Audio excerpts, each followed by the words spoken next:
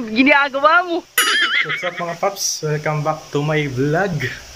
Sa ngayong araw na to, meron lang tayong i-open na pouch. No? Meron tayong dumating na package. So, ito siya.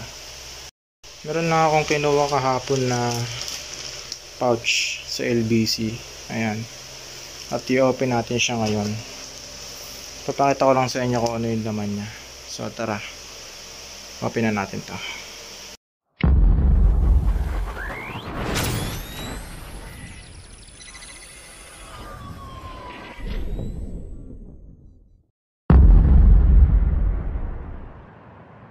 So yun nga Paps, kamusta kayo? Welcome back again to my channel. Welcome back to J Moto Vlog. At nandito na naman tayo sa panibagong vlog. At ngayong araw na to, eh, hindi muna tayo moto vlogging. No? So meron kasi akong pinick up kahapon sa LBC na ito siya, package na ipinadala sa atin. At ang laman niya ay ito.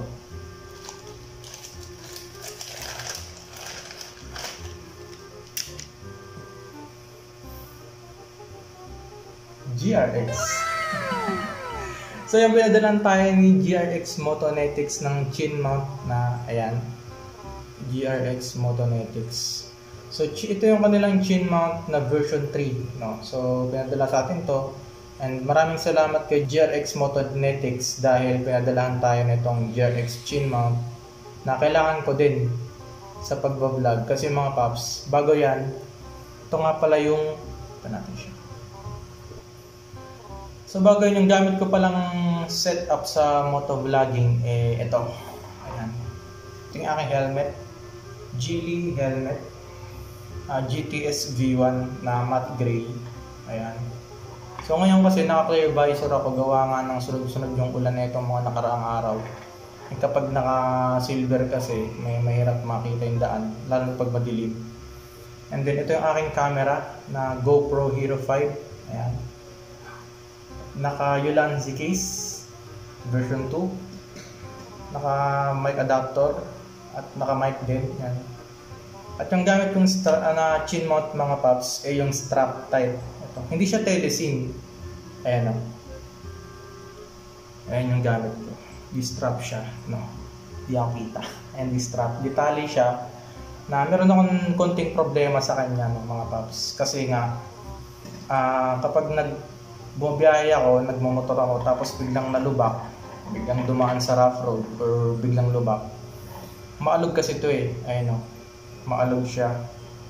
Kaya nagkakaroon ng problema dun sa footage, no, kapag tinignan ko na yung video, yun nga, medyo biglang aalog yung screen kasi nga umaalog nga siya once na nalubak. So yun, ang tendency kasi nun para sa akin mga paps, eh, kapag katagalan, pag paulit-ulit na gaganyan, pwedeng magkaroon ng uh, opening dun sa mga tie ng strap. Nito, since hindi rin siya branded, nabili ko lang ito sa Shopee ng worth 130, 150 something yata. So yun, yun ang problema ko sa kanya, ayun maalog, na pwedeng mag-cause ng pagkaputol ng mga strap once na tumagal. Para sa akin lang ah at the same time, ang problema ko pa rito eh, ito, since dis, ditali siya distrap, dito ko siya pinadaan na hindi ko masara ng gusto yung aking lens. Kaya papasok pa rin yung usok dito kung mayroong mga usok na malalakap mo. So yan. Kaya buti na lang pinagdalahan tayo ni GRX Motonetics nitong kanyang GRX chin mount. Ayan, maraming salamat po sa GRX Motonetics na ikakabit natin ngayon dito sa aking helmet, sa aking Geely helmet. So yun, i-detach ko lang ito. Kakalasin ko lang.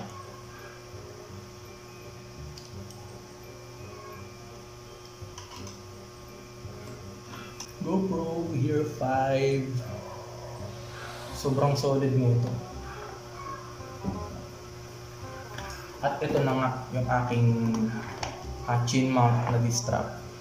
Strap type. Ewan kung paano tawagin tong version na to. Anong tawag dito sa ano na to? Ayan. So kinabit ko lang kasi to ng ayan. Ang galing ko lang to. Binutasan ko siya rito para madaan ko yung strap. Di ko kasi tinanggal to eh. So yung ginawa ko dito mga Pops, eh, nilagyan ko siya ng cable tie, yung pagkakatali niya. Ayan, cable tie. Para ma- ma-reduce yung ano, pag-alog. Pero hindi pa rin umubra. Dahil maalog talaga siya. Ayan. Mahigpit na yan. Ginamitan ko na nito. Ayan, mga cable ties. Pero ganun pa rin, maalog pa rin. Tatanggalin na natin siya.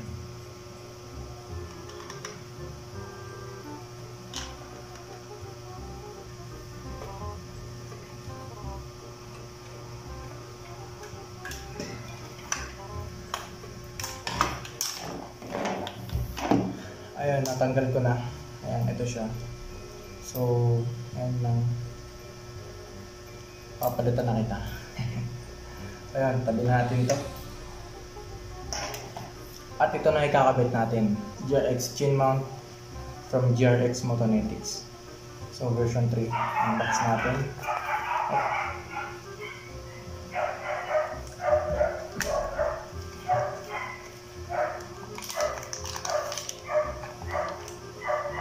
Uy! Ayos! Ay, ito yung inclusion ng kanyang plastic.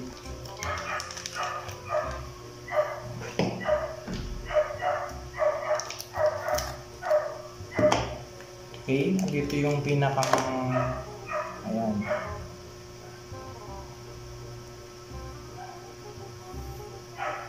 Okay, ito yung pinakang ano niya, pinakang ah, kinakabit dun sa helmet. Ayan, ito yung inclusion niya. Meron din siyang extension. Ayan, extension. Tapos, meron siyang tali. Ah, rubber, ano ba tawag dito? Rubber tie. Kasi may cable tie, ito rubber, rubber type siya. Okay. So, yung kakabit na natin yan, ito, ito sa ating chin dito.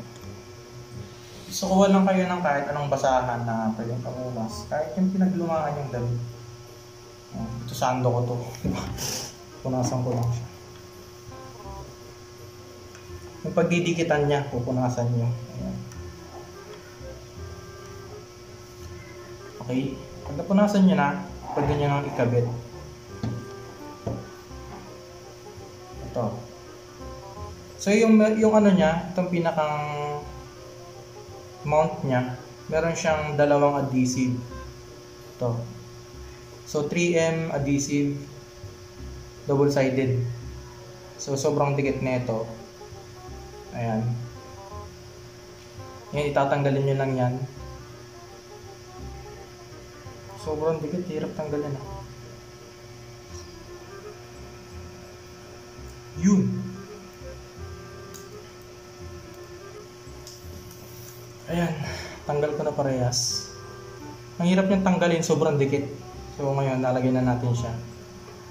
So yung paglagay niyo mga paps, eh, siguraduhin niyo na yung lagay niyo kasi nga wala nang tanggalan to eh. No, sobrang dikit na ito. So kakabit ko na siya.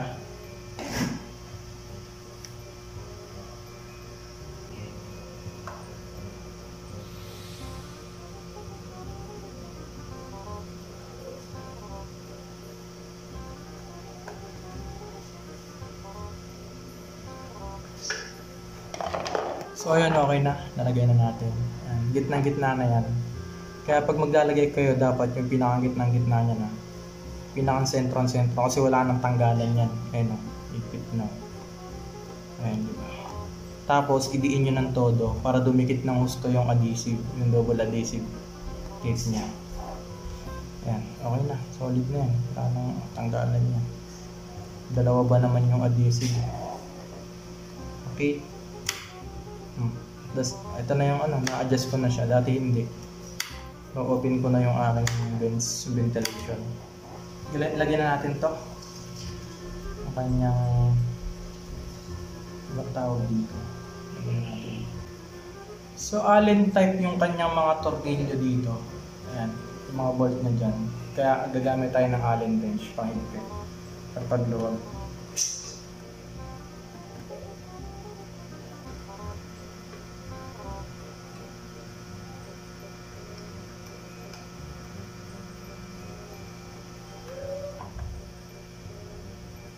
Meron pala silang mas maiksing ah, extension mga paps. Ayan o.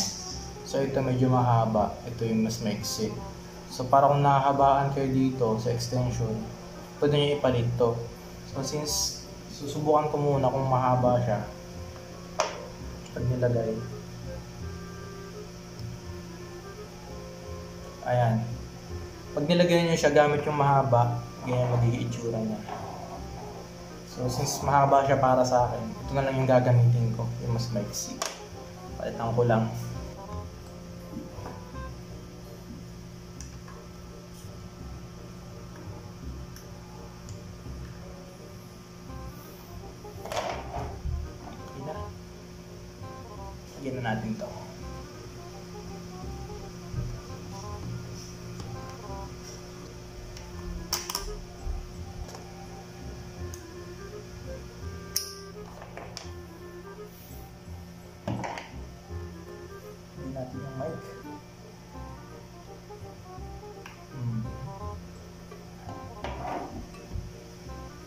Ayan.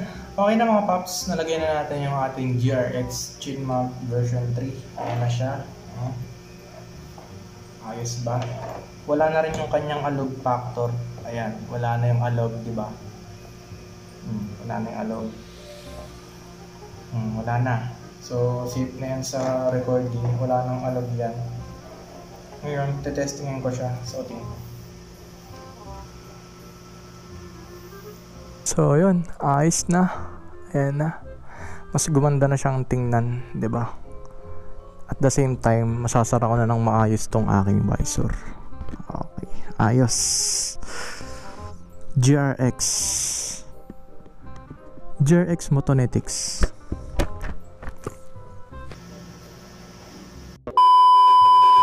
So yung mga paps, hanggang dito na lang at sana nagustuhan niyo yung aking vlog ngayon. At muli, nagpapasalamat po ako sa GRX Motonetics sa pagbibigay sa akin itong GRX chin mount na version 3. At eto na nga, Ah, nakabit na natin at maganda yung quality niya. Ayan. Nawala lahat ng mga pinangangambahan ko like yung alog at yung pag ah, sara ng visor. Ayan, diba? Nasasara na siya ng todo. So ayun, kung gusto nyo umorder nito, order na lang kayo sa GRX Motonetics. Ilalagay ko na lang yung link sa baba at ah, bahala na kayong kumausap sa kanila at umorder. Willing silang i-entertain kayo or mag-serve sa inyo. No? Kung hindi ka pa nakasubscribe sa aking channel, i-click mo na lang yung subscribe button. Nalagay ko dun sa may baba. Ay, dito pala yun. Ay, saan ba? Tama dito. Ayan. Click nyo yung notification bell para ma-notify kayo sa mga parating at mga bago kong vlogs. Okay, so yun.